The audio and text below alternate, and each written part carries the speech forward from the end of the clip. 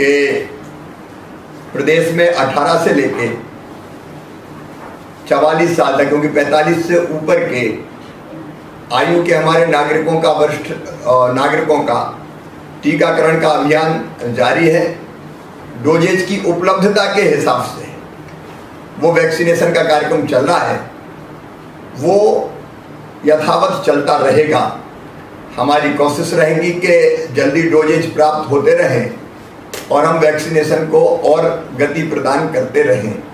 क्योंकि संक्रमण की चैन तोड़ना नंबर एक और वैक्सीनेशन का काम तेज़ी से करना नंबर दो।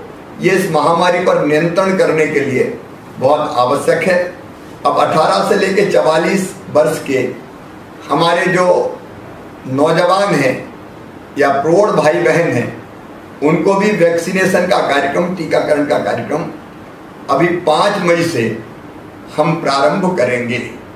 अभी हमने जो आकलन किया कि जो संभावित संख्या होगी जिसका हमको वैक्सीनेशन करना पड़ेगा 18 से लेकर 44 साल तक की, उसके लिए हमको जो डोजेज की ज़रूरत पड़ेगी, वो पाँच करोड़ उनतीस लाख डोजेज की आवश्यकता होगी।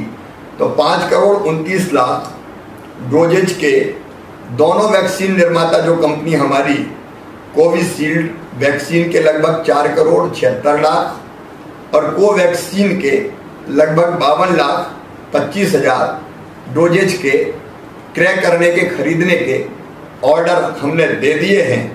और हम लगातार ये कोशिश कर रहे हैं कि दोनों वैक्सीन निर्माता serum institute of India, Pune, Maharashtra और भारत बायोटेक वैक्सीन हैदराबाद, ये हमको तेज़ी से सप्लाई करे। अभी सप्लाई की सुनिश्चितता नहीं कि कब वो कितनी देंगे, ये बताने की स्थिति में नहीं है।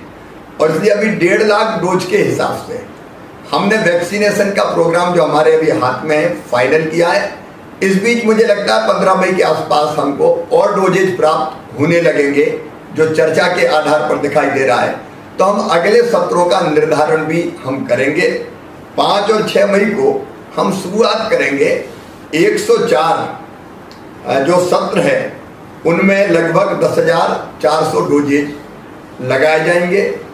आठ और दस मई को फिर ये सत्र बढ़ा के 416 कर दिए जाएँगे और इकतालीस हज़ार छः सौ डोजेज लगाए जाएँगे। बारह, तेरह और पंद्रह मई को ये सत्र बढ़ा के 960 कर दिए जाएँगे और छियानवे हज़ार डोजेज लगाए जाएँगे। तो यहाँ से हम ये प्रारंभ कर रहे हैं और मुझे लगता है कि इस बीच में हमको उपलब्धता और प्राप्त होती रहेगी। हम लगातार बात करते जा रहे हैं कि हमको जल्दी उपलब्ध कराई जाए। तो जैसे जैसे उपलब्ध होती जाएगी, हम अपने नौजवानों को ये वैक्सीन लगाते जाएँगे। सबको निःशुल्क लगाएँगे। ये हमारा संकल्प है। कोई नहीं छूटेगा। ये भी हमारा संकल्प है।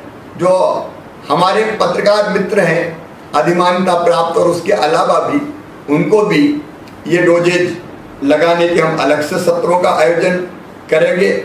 और दोनों कंपनियों से बात करके हम इस बात की भी संभावनाएँ टटोल रहे हैं कि अगर ये निश्चित समय सीमा में डोजेज की आपूर्ति हमको नहीं कर पाती तो क्या हम दो के अलावा इंपोर्ट करके भी कहीं से और तीसरी वैक्सीन ला सकते हैं? तो उस संभावना के भी मैंने निर्देश दिए हैं ताकि यथासंभव हम अपने 18 से लेकर 44 साल तक के नौजवान बेटे बेटियों को भी और प्रौढ़ भाई बहनों को भी ये वैक्सीन के डोज लगा के उनको स्वस्थ रहने की आश्वस्ति दे सकें और इस महामारी से बचाने के लिए प्रतिरोधक क्षमता उनके अंदर पैदा हो, इस बात का प्रयास कर सकें।